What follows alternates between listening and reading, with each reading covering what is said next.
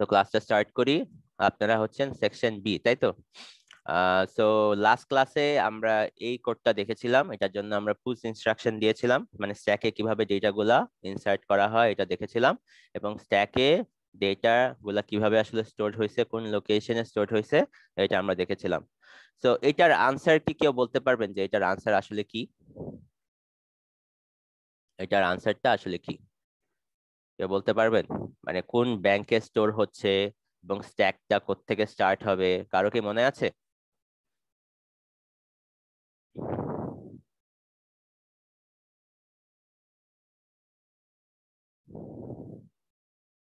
Sir এটা bank ওয়ানে store হচ্ছিল। ব্যাংক ওয়ানে স্টোর হচ্ছিল। ওকে সো ব্যাংক ওয়ানের অ্যাড্রেসটা থেকে স্টার্ট হয়? স্যার এইট থেকে। এইট থেকে স্টার্ট হয় ওকে আর স্ট্যাক ইউজুয়ালি যদি আমরা কিছু মনে মানে না বলে দেই তখন স্ট্যাকটা কোথা থেকে স্টার্ট হয়?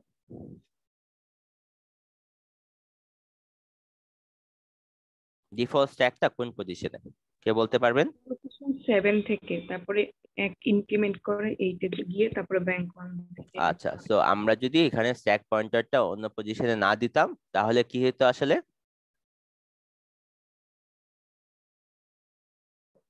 ব্যাংক ওয়ানে স্টোর হতো? ব্যাংক ওয়ানে স্টোর হইতো। তখন আমরা আর আসলে পুশ ইনস্ট্রাকশনটা দেওয়া লাগতো না। আমাদের সাথে সাথে ওই জায়গায় আসলে ডেটাগুলো স্টোর হয়ে যেত, ঠিক আছে? বা যেহেতু আমাদের স্ট্যাকের পজিশনটা চেঞ্জ করে দিচ্ছি এই জন্য আমাদের কিছু এক্সট্রা ইনফরমেশন লিখতে হবে। তো এখানে কি কি ইনফরমেশন লিখতে হবে? স্ট্যাকে ডেটা ইনসার্ট করতে হইলে এই চারটার জন্য, মনে আছে কারও? এই চারটা ইনস্ট্রাকশনের জন্য আমাদের কি কি পুশ ইনস্ট্রাকশনস লিখতে হবে? Push eight push nine push zero A এবং পুশ জিরো ই জিরো হ্যাঁ ঠিক আছে। বিকজ আমাদের ব্যাংক ওয়ান যেহেতু আমরা রেজিস্টার ব্যাংক হিসাবে ইউজ করতেছি, আর নট এর লোকেশন হচ্ছে এইচ আর ওয়ানের লোকেশন হচ্ছে নাইন আর টু এর লোকেশন হচ্ছে এ এবং অ্যাকুমুলেটরের লোকেশন হচ্ছে ই জিরো এইচ ওকে আচ্ছা বুঝা গেল। তো তাহলে আমরা সামনে আগাই। আমাদের এগুলা সবই দেখা হয়েছে সব বলা হয়েছে। এখন আমরা পুশের পরে যদি এ এর পরে এইচ না দেয় সেক্ষেত্রে সমস্যা আছে? পুশ এ লিখলে শুধু? না না এরকম কোনো সমস্যা নেই। ওকে আচ্ছা এখন এখন কল ইনস্ট্রাকশন নিয়ে পড়ব রাইট সো বলেন তো কল ইনস্ট্রাকশন কিসের জন্য ইউজ করা হয়? আমরা মাইক্রোপ্রসেসরে পড়ে আসছিলাম। ফাংশন কল করতে।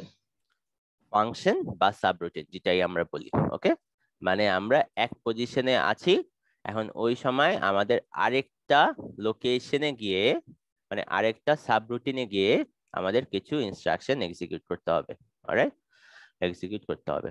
তো ওই সাবরুটিনে আসলে রিটার্ন একটা কিওয়ার্ড থাকে। এখন কারও কি রিটার্ন কিওয়ার্ডের কাজ কি মনে আছে?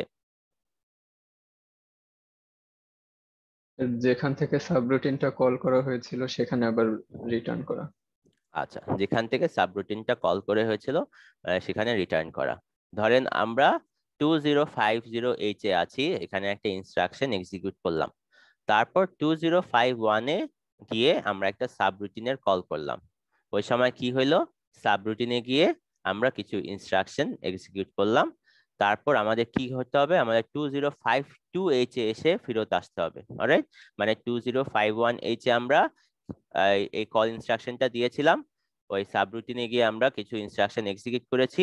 তারপর টু জিরো ফাইভ টুতে এসে আমাদের আবার কাজ করতে হবে। আবার ইনস্ট্রাকশনগুলো এক্সিকিউট করতে হবে। মানে এই জায়গায় আবার ফেরত আসতে হবে। ওই কাজটা কীভাবে করে? রিটার্ন কিওয়ার্ড দিয়ে করে। এখন যখন রিটার্ন এই কিওয়ার্ডটা এক্সিকিউট হয় তখন আমরা আসলে এই two zero five two H এ কীভাবে আসি? কারও কি মনে আছে যে এই two zero five two H এ কীভাবে আসি? মানে এই লোকেশনটা মানে এই অ্যাড্রেসটা আসলে কই স্টোর করা থাকে এবং কোথ থেকে আমরা পেয়ে তারপর এখানে আমরা ফেরত আসি? স্ট্যাকে স্টোর করা থাকে।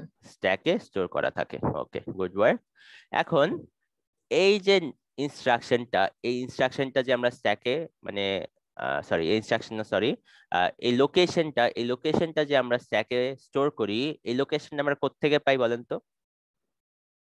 মানে লোকেশনের অ্যাড্রেসটা যে আমরা স্ট্যাকে স্টোর করি এই লোকেশনের অ্যাড্রেসটা আমরা কোত্থেকে পাই?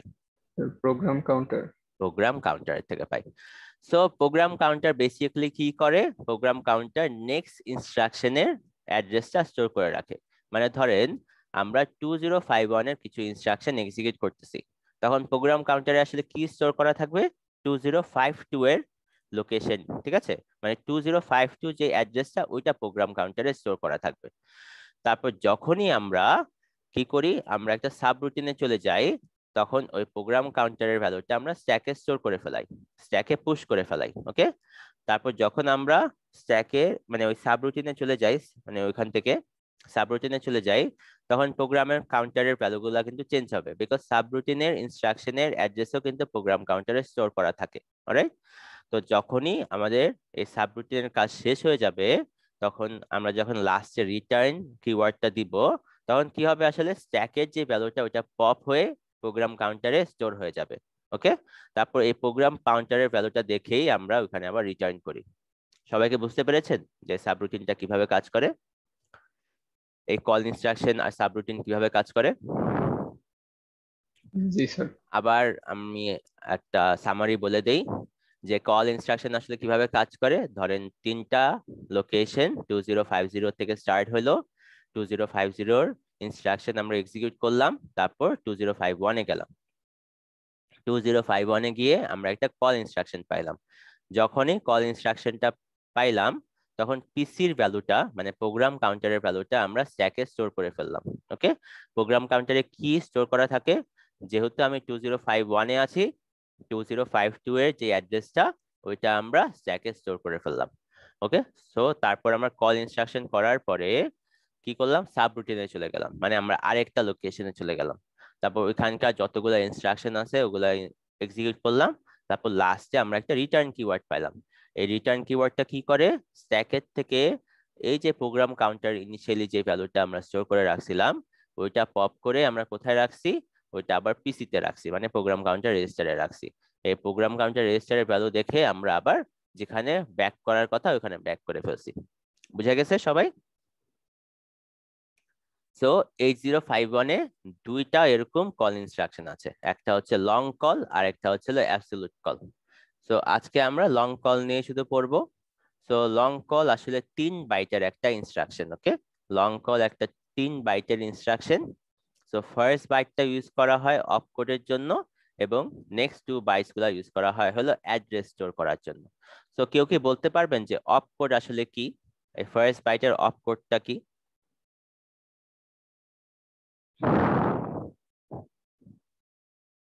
এটার ক্ষেত্রে এল কল এটার ক্ষেত্রে এল কল মানে বেসিক্যালি আমরা কোনো ইনস্ট্রাকশন লেখার সময় আমরা কি লিখি? মুভ অ্যাড সাবট্র্যাক্ট ওকে তো এগুলাই আসলে অফকোড বলা হয়, ঠিক আছে? যেগুলো ওয়ার্ড দিয়ে আমরা ইনস্ট্রাকশন লিখি ওগুলাকে অফকোড বলা হয়। এরপরে যে ভ্যালুগুলা বলা হয়, ওগুলা হলো ইনস্ট্রাকশনের ভ্যালুগুলো অলরাইট সো বেসিক্যালি এই তিন বাইটের যে ইনস্ট্রাকশনটা ওকে প্রথম বাইটটা আমরা অফকোডের জন্য ইউজ করি, যেটা হলো এল কল আর এই নেক্সট টু বাইটগুলা হচ্ছে হইল অ্যাড্রেস স্টোর করার জন্য ওকে তিন বাইটের ইনস্ট্রাকশন প্রথম বাইট হচ্ছে অফকোড এবং নেক্সট টু বাইট হচ্ছে অ্যাড্রেস কল করার জন্য ওকে তারপর আমরা যেগুলো বলছি এগুলাই লেখা এখানে। L L call can be used to call subroutines located anywhere within the 64 kilobyte address space of the 8051 okay so আমাদের তো দেখে আসছি যে 64 কিলোবাইটের একটা র্যাম স্পেস ওইখানকার যে কোনো স্পেসে আমরা যে কোনো লোকেশনে আমরা এল কল দিয়ে যেতে পারব ওই specific সাবরুটিনে okay To make sure that after execution of the called subroutine, the 8051 knows where to come back to, the processor automatically saves on the stack the address of the instruction immediately below the L call. মানে L call এর পরে যে ইনস্ট্রাকশনটা আছে মানে নিচে যে ইনস্ট্রাকশনটা আছে ওইটার লোকেশনের ভ্যালুটা আমরা স্ট্যাকে স্টোর করে রাখি এখন কীভাবে স্ট্যাকে স্টোর করি প্রোগ্রাম কাউন্টারের সাহায্যে এটা আমরা পড়ি যে when a subroutine is called control is transferred to that subroutine and the processor saves the program counter on the stack and begins to fetch the instruction from the new location আমরা যেটা একটু আগে বলেছি ওইটা এখানে লেখা তারপর কি কীভাবে আমরা ফেরত আসব রিটার্ন কিওয়ার্ড দিয়ে ওকে এটা এখানে লেখা আছে যে after finishing execution of the subroutine the instruction return, transfers control back to the caller. Every subroutine needs return as the last instruction okay so এগুলো আমরা দেখেছি। এখন এখানে কিছু এক্সাম্পল দেওয়া, এগুলো আমরা নেক্সট ক্লাসে পড়ব। সো আজকের ক্লাস এতটুকুই, আপনাদের অ্যাটেন্ডেন্সটা নিয়ে নিই ওকে আপনারা হচ্ছেন সেকশন বি তাই তো? জি স্যার